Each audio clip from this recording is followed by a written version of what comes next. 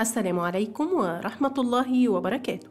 اللهم بلغنا رمضان الأحد المقبل أول أيام شهر شعبان طبقا للحسابات الفلكية.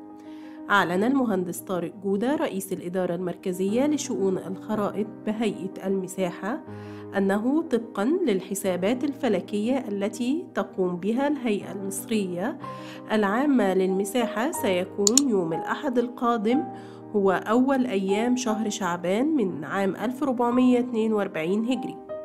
وأوضح جودة أنه طبقا لنتائج الحسابات الفلكية فإن هلال شهر شعبان لعام 1442 هجري سيولد فلكيا يوم السبت 29 من شهر رجب لعام 1442 الموافق 13 مارس 2021 في تمام الساعة الثانية عشر والدقيقة 22 بتوقيت مصر.